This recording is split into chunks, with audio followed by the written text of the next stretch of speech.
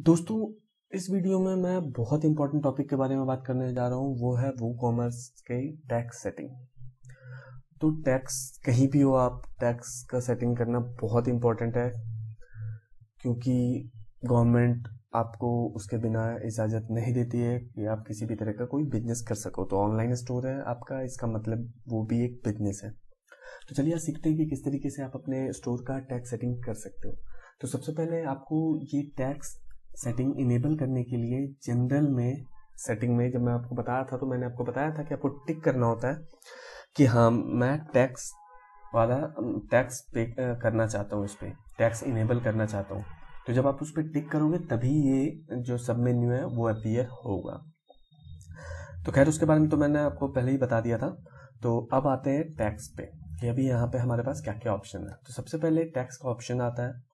उसके बाद जितने भी तरह के रेट हैं टैक्स का, ये जो तीन आपको दिख रहा है वो रेट है टैक्स का और उसका नाम। ठीक है तो इस पर मैं बाद में आता हूँ। सबसे पहले आपको बता रहा हूँ टैक्स का ऑप्शन पहला प्राइस एंटर्ड विद टैक्स मतलब जो भी प्राइस मैं एंटर करूँगा प्रोडक्ट में, वो क्या टैक्स के साथ है या बिना टैक्स के है? मतलब अगर आपने यहाँ पे नो डाला है तो इसका मतलब ये है कि अगर आपके स्टोर में सौ रुपये दिखाया जा रहा है तो टैक्स उसके ऊपर से लगेगा। और अगर आपने यस किया है तो सौ रुपये ही है और टैक्स वैक्स सब इंक्लूडेड है। वो टैक्स खुद ब खुद कैलकुलेट करके घटा देगा और सौ में से वो टैक्स पे कर देगा गवर्नमेंट को। और इसमें क्या होगा कि सौ के ऊपर जब आप पे करने जाओगे कार्ड बिल्ड करोगे तो कार्ड में जब चेकआउट करोगे तो चेकआउट के टाइम पे वो दिखाएगा कि आपको कितना पे करना है एज अ टैक्स इससे अलावा। जिस तरीके से रेस्टोरेंट में होता है कि आपको प्राइस मेन्यू दिखाया जाता है और जब आप चूज़ करते हो, जब बिल बनता है तो उसमें टैक्स अलग से लगता है। और जनरली अगर आप कोई मोबाइल फ़ोन वगैरह खरीदते हो तो उसमें क्या होता है कि जितना प्राइस है, उतना ही प्राइस है। जीएसटी वो खुद ब खुद उसमें इंक्लूडेड होता है या टैक्स उसमें इंक्लूडेड होता है। तो वो आप देख लेना आप किस तरीके से करना चाहते हो। अगर आप डायरेक्ट उस तरीके से रखना चाहते हो कि आप कैलकुलेट करके डालोगे और सौ रुपये अगर किसी यूज़र को दिख रहा है तो सौ रुपये ही पे करेगा या फिर सौ रुपये अभी दिख रहा है और टैक्स उसके ऊपर से लोगे, ये आप डिसाइड कर लेना। फिर अब दूसरा ये है कि कैलकुलेट टैक्स बेस्ड ऑन मतलब टैक्स किसके बेसिस पे कैलकुलेट करना है? कस्टमर के शिपिंग एड्रेस पे या कस्टमर के बिलिंग एड्रेस पे या शॉप के बेस एड्रेस पे? तो आपको शिपिंग एड्रेस पे बेसिकली करना चाहिए, जहाँ पे आप शिप कर रहे हो। ठीक है? बाय डिफ़ॉल्ट यही आता है, क्योंकि शिपिंग और बिलिंग सेम ही होता है। तो अगर आप बिल एड्रेस भी कर सकते हो, अगर वो डिफरेंट डिफरेंट जगह पे मंगा रहा है कि ऑर्डर किसी और स्टेट से कर रहा है और भेज कहीं और रहा है बिल कहीं और के नाम पे तो जहाँ पे बिल के नाम पे वहीं पे आप कर सकते हो, ये बेटर आइडिया रहेगा मेरे हिसाब से। और आप लोग अपना देख लेना जिस तरीके से सेटिंग करना है। तीसरा है शिपिंग टैक्स क्लासेस मतलब shipping tax classes based on cart item standard reduce rate और ज़ीरो रेट मतलब कि अगर आपने कि शिपिंग का टैक्स क्लास किस पे लगेगा? मतलब कि जो शिपिंग का आप जो चार्ज ले रहे हो, क्या उस पर भी किसी तरीके का वो टैक्स है या नहीं? वो है यहाँ पे। तो आप उसके लिए भी बना सकते हो। देखो, आप यहाँ पे जब क्वेश्चन मार्क पे करोगे तो वहाँ पे आपको सारे हिंट्स दिखाएगा। तो इसमें देख सकते हो आपको क्या लिखा हुआ है। Control which tax class shipping get or leave it shipping tax is based on the cart item themselves तो इसका मतलब क्या है कि या तो आप कोई टैक्स क्लासेस को दे सकते हो। टैक्स क्लास क्या होता है बेसिकली आप बना सकते हो कि इस क्लास में, इस क्लास में इतने टैक्स लगेंगे, इस क्लास में इतने टैक्स लगेंगे, जैसे ज़ीरो रेट है, इसका मतलब इसमें कोई टैक्स नहीं लगेगा। स्टैंडर्ड रेट मतलब मान लो स्टैंडर्ड रेट हमारे हिसाब से बारह परसेंट है तो रिड्यूस रेट हमने दस परसेंट रखा था। और ज़ीरो रेट मतलब ज़ीरो ठीक है? तो कौन सा प्रोडक्ट किस क्लास में आता है, वो आप जब प्रोडक्ट एंटर कर रहे होगे तो सिलेक्ट करना होता है। इसके बारे में मैं अभी आता हूँ। बस आप इतना समझ लो कि शिपिंग टैक्स क्लासेस का मतलब है कि शिपिंग चार्जेस पे कितना टैक्स लगेगा आपने।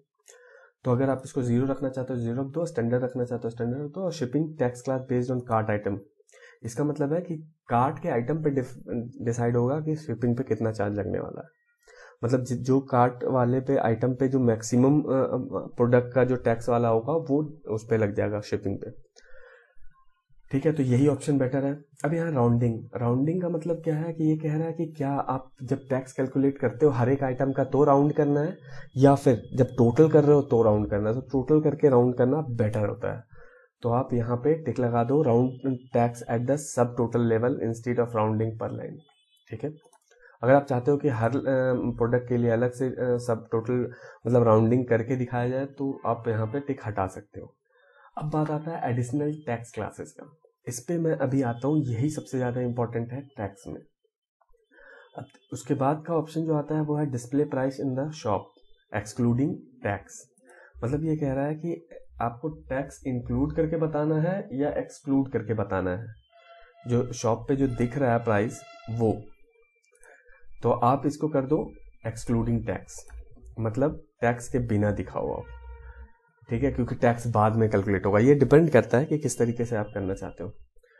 फिर यहाँ पे display price during cart and checkout मतलब कि कार्ट और चेकआउट के टाइम में आपको टैक्स के साथ दिखाना है या बिना टैक्स के साथ दिखाना है? तो इस तो शॉप पे मैंने रखा है एक्सक्लूडिंग टैक्स मतलब बिना टैक्स के शॉप पे दिखेगा। और यहाँ पे कर देता हूँ मैं इंक्लूडिंग टैक्स मतलब कार्ट और चेकआउट पे आने पे उसको पता चल जाए कि हाँ भाई, इतना टैक्स तो पे करना पड़ेगा इस इस आइटम के लिए। और उसके बाद का ऑप्शन है प्राइस डिस्प्ले सफिक्स मतलब कि प्राइस की आप क्या करोगे कि जब इंक्लूडिंग टैक्स दिखा रहे हो प्राइस में, जब यहाँ पे इंक्लूडिंग तो आप दिखा सकते हो कि जीएसटी इंक्लूडेड वैट इंक्लूडेड या फिर जो भी टैक्स इंक्लूडेड कुछ भी टेक्स्ट आप यहाँ पे दिखाना चाहते हो, वो आप यहाँ से दिखा सकते हो, जब आप इंक्लूडिंग टैक्स दिखा रहे होते तो। अब यहाँ पे दिया, दिखा रहा है, जो हमारे पास लास्ट ऑप्शन है, वो है डिस्प्ले टैक्स टोटल अब जब आप टैक्स मान लो कार्ट में पाँच आइटम है तो ये वही पूछ रहा है कि क्या हर एक आइटम के लिए टैक्स जो आपने कैलकुलेट किया, वो हर एक आइटम के नीचे आप टैक्स भी दिखाना चाहते हो? या फिर लास्ट में बस ये दिखाना चाहते हो कि इस कार्ट का पूरा टैक्स वैल्यू ये है? तो यहाँ से आप सेलेक्ट कर सकते हो कि क्या ये एक सिंगल टोटल दिखाना है टैक्स का, या फिर हर आइटम पे कितना टैक्स लगा है, वो आप दिखाना चाहते हो। तो हर आइटम पे कितना टैक्स लगा है, वो आप रहने दे सकते हो। ठीक है? अब अब आप एक बात गौर करके देखोगे तो यहाँ पे तीन ऑप्शन है standard rate reduce rate zero rate और यहाँ पे हमारे पास दो ऑप्शन है रिड्यूस रेट और ज़ीरो रेट ठीक है? तो स्टैंडर्ड रेट बाय डिफ़ॉल्ट एक रेट तो वो फिक्स रखता है कि आपको रखना ही रखना है, बिना उसके तो कोई टैक्स हो ही नहीं सकता। तो इसलिए वो ऑप्शन हटाने का दिया नहीं है। अगर मैं चाहूँ तो ये दोनों हटा हटाऊँगा तो यहाँ पे क्या होगा? सेव करूँगा तो आप देखोगे कि यहाँ से ये दोनों हट जाएगा। ठीक है? अब हमारे पास सिर्फ़ एक टैक्स रेट है। ठीक है, इस पर मैं क्लिक करता हूँ। यहाँ पे हमें टैक्स का रेट देना होता है। मतलब मैं यहाँ पे एक रो इंसर्ट करूँगा जिसमें स्टार का मतलब है कि हर एक कंट्री के लिए। और अगर मैं यहाँ पे आई एन डालू तो इंडिया सेलेक्ट कर लेता हूँ। तो इसका मतलब ये है कि ये टैक्स रेट जब कोई मेरे शॉप पे कार्ड पे जब चेकआउट के टाइम में इंडिया डालेगा कंट्री तो ये रेट अप्लाई होगा। बट वो रेट तभी अप्लाई होगा जब आपने प्रोडक्ट में टैक्स के क्लासेस में स्टैंडर्ड रेट सिलेक्ट करोगे। मतलब ये कि जब, अभी तो मैंने प्रोडक्ट ऐड करना आपको सिखाया नहीं है, फिर भी मैं आपको बता रहा हूँ कि कहाँ पे प्रोडक्ट को सिलेक्ट किया जाता है। अब देखो, जैसे यहाँ पे जब आप आते हो तो जब प्राइस में ही यहाँ पे पूछता है कि कौन सा क्लास अभी एक ही क्लास है तो ये स्टैंडर्ड बाय डिफ़ॉल्ट सिलेक्टेड है। और अगर बहुत सारे क्लासेस होंगे तो आप अलग अलग सेलेक्ट कर सकते हो कि ये जो प्रोडक्ट है, वो इस क्लास में आ रहा है, इतने परसेंट वाले में आ रहा है। ठीक है? या ज़ीरो टैक्स वाला आ रहा है, जैसा कि ज़ीरो टैक्स था, मैंने हटा दिया तो उसमें आप फिक्स कर सकते हो। अब यहाँ पे क्या है? स्टार का मतलब हर जगह पे ये है कि सबके लिए वैलिड है। ठीक है? तो अब मैंने इंडिया डाला है तो मतलब इंडिया के लिए वैलिड है। कितने परसेंट रेट मान लो मैं बीस परसेंट रेट से टैक्स लगाना चाहता हूँ पूरे इंडिया पे। और यहाँ पे कुछ नाम भी दे देना चाहता हूँ जीएसटी जैसे फ़िलहाल आजकल चलता है तो जीएसटी अभी ये है नहीं जीएसटी अभी मैं जीएसटी वाला भी दिखाऊँगा। फॉर एग्ज़ाम्पल मैंने नाम दे दिया जीएसटी या चलो, हटा के मैं वैट कर देता हूँ। ठीक है? वैट कर दिया। अब ये प्रायोरिटी क्या है? कि अगर आप चाहते हो कि एक और टैक्स लगाऊँ इंडिया पे, ठीक है?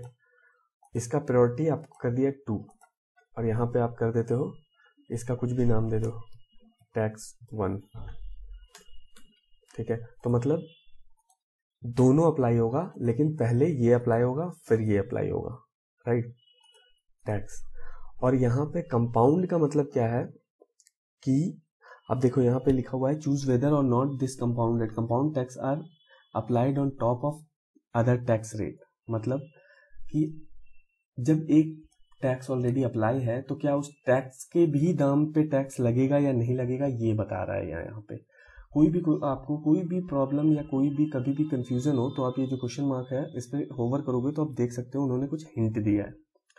ठीक है? तो अगर मैं यहाँ पे टू पे और वन पे ये लगा दूँ तो इसका मतलब ये है कि जब ऑलरेडी टैक्स कैलकुलेट हुआ था पहला वाला तो उसके प्राइस पे भी टैक्स लगेगा।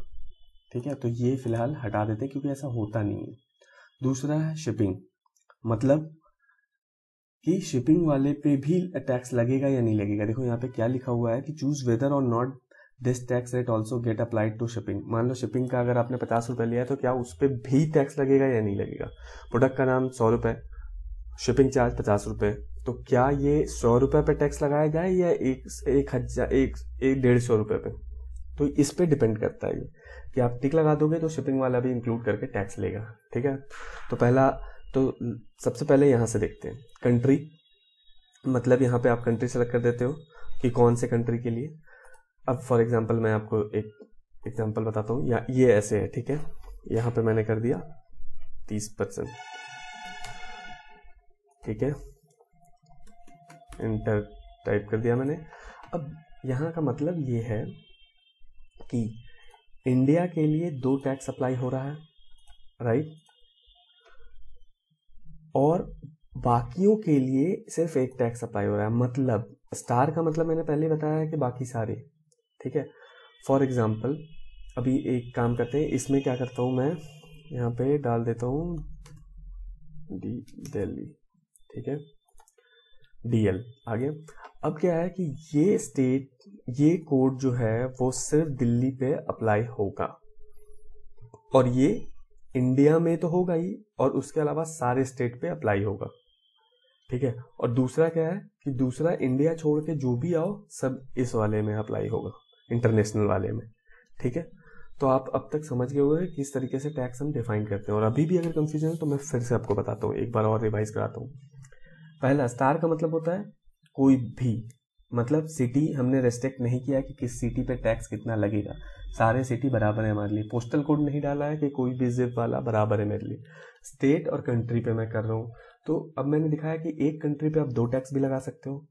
और कंट्री ऐसे भी कर सकते हो कि अगर आपने नहीं डाला तो पहले तो इंडिया रिस्ट्रिक्ट कर दिया कि इंडिया पे मैं बता रहा हूँ इतना टैक्स है, बाकी सारे कंट्री पे आ जाओ, इतना टैक्स है। ठीक है, पहला चीज़।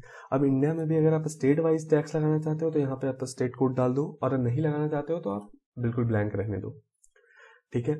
अब यहाँ पे उस सेम केस पोस्टल कोड का होता है। अगर जिप के हिसाब से, अगर पोस्टल कोड के हिसाब से अगर आप टैक्स लगाना चाहते हो तो यहाँ पे एंटर कर सकते हो। नहीं तो स्टार ही रहने दो। सेम सिटी के साथ है। यहाँ पे आप रेट डिफाइन कर सकते हो। ये टैक्स का नाम डिफाइन कर सकते हो। ये इंपॉर्टेंट इसलिए है ताकि जब यूज़र इनवॉइस पे देखेगा तो वो यही नाम देखेगा। राइट वो तो ये, देखेगा ही परसेंटेज उसका नाम भी देखेगा। ठीक है? अब यहाँ पे होता है प्रायोरिटी अगर आप एक ही जैसा दो बना रखा है आपने, जैसे इंडिया इंडिया पे लगने वाला है या दिल्ली दिल्ली पे लगने वाला है तो दो टैक्स सेम अप्लाई हो रहा है तो पहले कौन अप्लाई होगा? बाद में कौन अप्लाई होगा? अब बात ये आता है कि ये क्यों इंपॉर्टेंट है, पहले कौन अप्लाई होगा? तो उसका है ये कंपाउंड अगर आपने कंपाउंड पे टिक लगा हुआ है तो इसका मतलब ये है कि पहले जो अगर बी, अगर सौ रुपए का प्रोडक्ट पे बीस परसेंट मैंने अप्लाई किया है तो हुआ एक सौ बीस रुपये अब जो सेकेंड टैक्स अप्लाई होगा, वो एक सौ बीस रुपये पे होगा।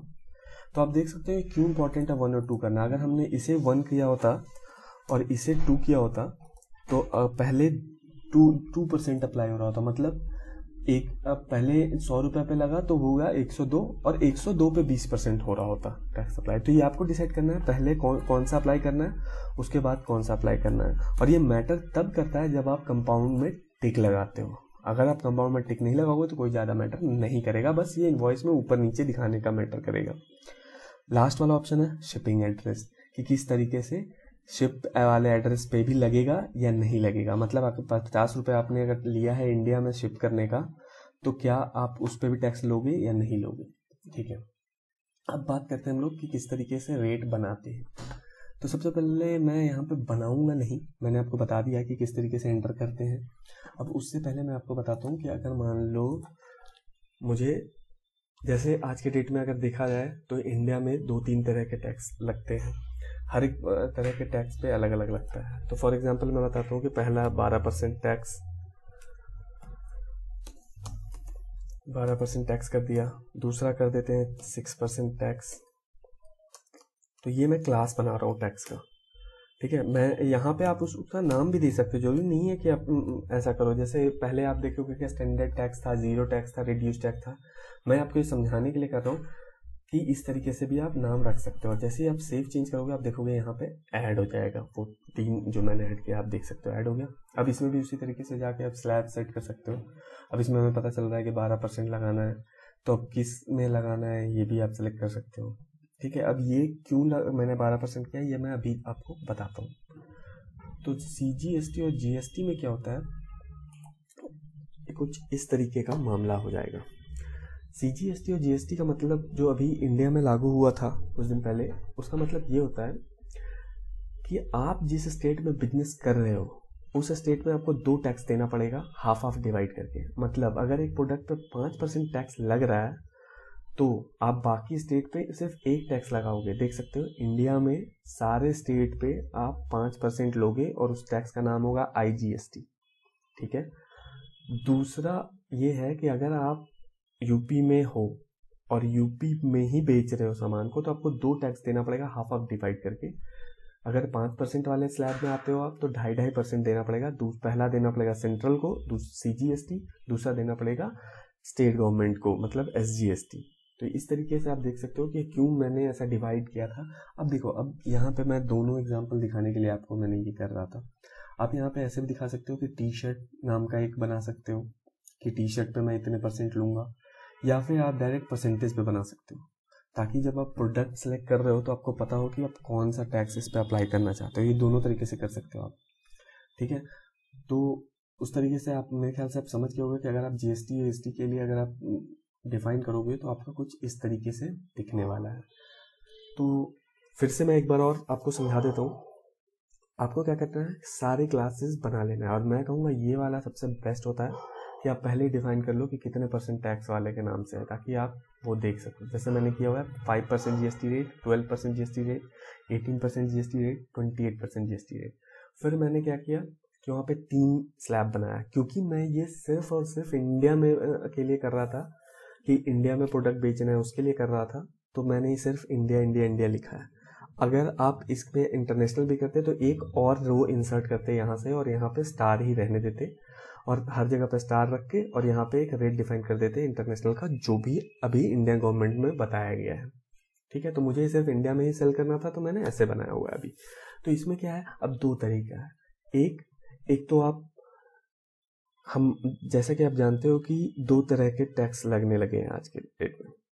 देखा जाए तो पहला होता है आईजीएसटी इंटीग्रेटेड जीएसटी दूसरा होता है दो तरह के टैक्स लगते हैं सीजीएसटी और एसजीएसटी तो फिर से मैं आपको बता रहा हूँ कि जहाँ पे आपका स्टोर है, अगर आप उसी स्टेट में बेच रहे हो तो आपको सेम स्लैब को दो पार्ट में डिवाइड करना पड़ता है। मतलब अगर एक प्रोडक्ट पर पाँच परसेंट लग रहा हो तो आपको दो पार्ट में डिवाइड करना पड़ता है, एक ढाई परसेंट ढाई परसेंट जो कि है पहला ये, दूसरा ये। एक आप सेंट्रल गवर्नमेंट को पे करते हो, जिसका नाम है सी जी एस टी दूसरा आप स्टेट गवर्नमेंट को पे करते हो, जिसका नाम है एस जी एस टी और अगर इसके अलावा किसी और स्टेट में बेच रहे हो, इसलिए मैंने यहाँ पे स्टार लगाया है तो आप एक ही टैक्स पे करते हो आई जी एस टी तो बेसिकली ये जब टैक्स पे करोगे तो आप डिसाइड करोगे कि कितना किसको दोगे। अभी ये यूज़र को दिखाने के लिए होता है। मतलब अगर यूज़र यूपी का है तो उसको सिर्फ़ एक टैक्स दिखेगा, और अगर यूज़र यूपी के बाहर का है तो उसको दो टैक्स दिखेगा सी जी एस टी और एस जी एस टी दोनों। बात बराबर, ये दोनों पे पाँच परसेंट ही घूम फिर कर लग रहा है टैक्स बट ये गवर्नमेंट ने ऐसे कहा है इन्वॉइस बनाने के लिए तो आपको इन्वॉइस बनाने में हेल्पफुल होगा।